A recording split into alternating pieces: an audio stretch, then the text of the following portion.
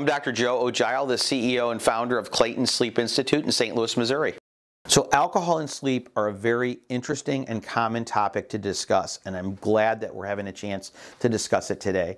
So, alcohol is frequently used by folks who have trouble sleeping because they perceive it to have a sleep improving effect, or we would call a soporific effect, when in reality, it does give you some sedation. However, it is dose dependent and there's tolerance associated with it. So it's a very poor sleep aid because to continue to get the effect of sedation, you have to use more and more alcohol, putting you at risk for addiction and certainly for tolerance.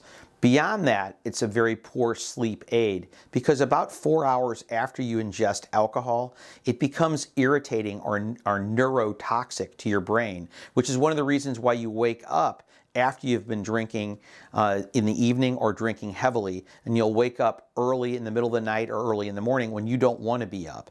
And so this is it's a poor sleep aid at multiple levels, and the sleep quality that you get with alcohol on board is quite poor and disrupted.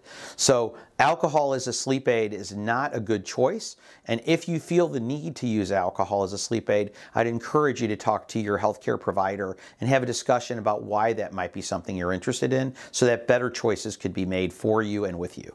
For more information on Clayton Sleep Institute and sleep information, please go to our website at claytonsleep.com or look me up and Clayton Sleep Institute up on LinkedIn. Follow us and we'll try to share great sleep information with you as fast as we can.